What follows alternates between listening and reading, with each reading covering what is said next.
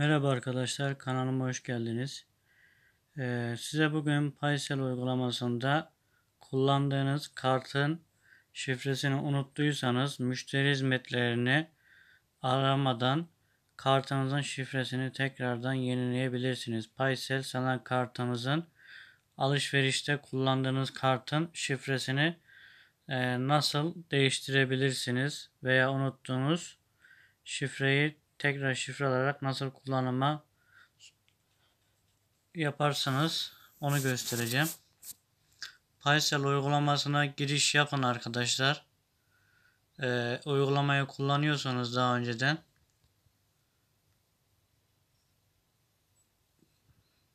burada cüzdanım seçeneğine tıklayıp buradan da diğere tıklayıp buradan şifre işlemleri deyip e, bu göstermiş olduğum kart şifresi Paysel kart şifresi uygulama şifresi değil.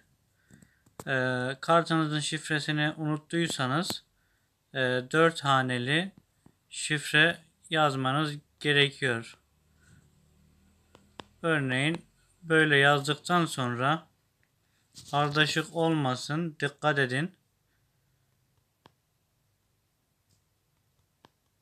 Böyle yaptığınız zaman kaydede bastığınız zaman kartınız şifresi değişecek arkadaşlar. Ee, kullanıma açmış olacaksınız. Müşteri hizmetlerini aramanıza gerek kalmadan e, market alışverişinizi yapabilirsiniz.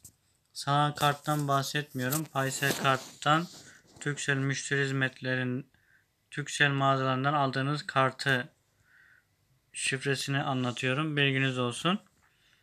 Ee, umarım sizin için yararlı olmuştur. Tekrardan göstereyim. Paysel uygulamasına giriyoruz. Daha sonra uygulama şifrenizi girdikten sonra cüzdanım seçeneğine basıp buradan diğere tıklayıp buradan şifre işlemleri deyip buradan 4 haneli ardışık olmayacak şekilde şifrenizi oluşturduktan sonra kaydede bastıktan sonra şifreniz tekrar yenilenmiş olacak. Videoyu izlediğiniz için teşekkür ederim. Kendinize iyi bakın. Sağlıcakla kalın. Allah'a emanet olun.